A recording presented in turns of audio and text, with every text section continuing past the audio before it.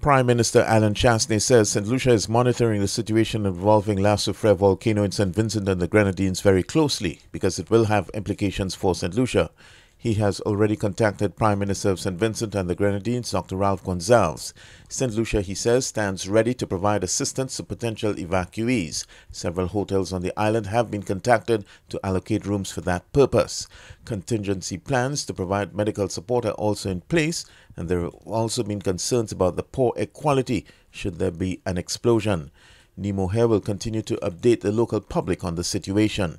I think right now for St. Lucians is to um, be on the, on, the, on the guard, meaning that there may be things that we have to do very quickly, um, but to be comforted in knowing um, that there are several eyes watching the situation, and we're in constant contact with the government um, of St. Vincent and the Grenadines. We're in constant contact with CDEMA and also with the seismic office um, in Trinidad and Tobago. Uh, there is a, a, lot of good experience that's being made available to us or expertise that's being made available to us. And certainly NEMO will continue to provide information um, on a needs-be basis. Last week, an emergency meeting to discuss an OECS response to the situation was held.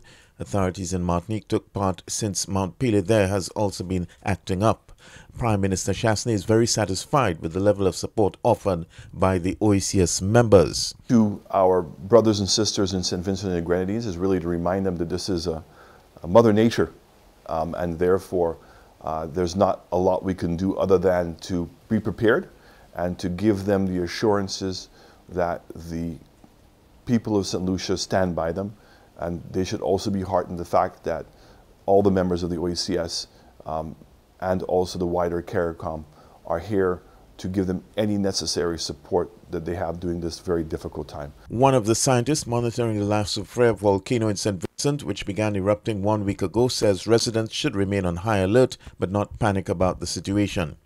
On December 3rd, officials advised raising the alert level to yellow after detecting seismic activity under the mountain, according to a news release. An increase in seismic activity since April 2019 and the detection of two tremors on November 8th and 9th led to raising the alert level. For the DBS News World, I am Don Nicholas.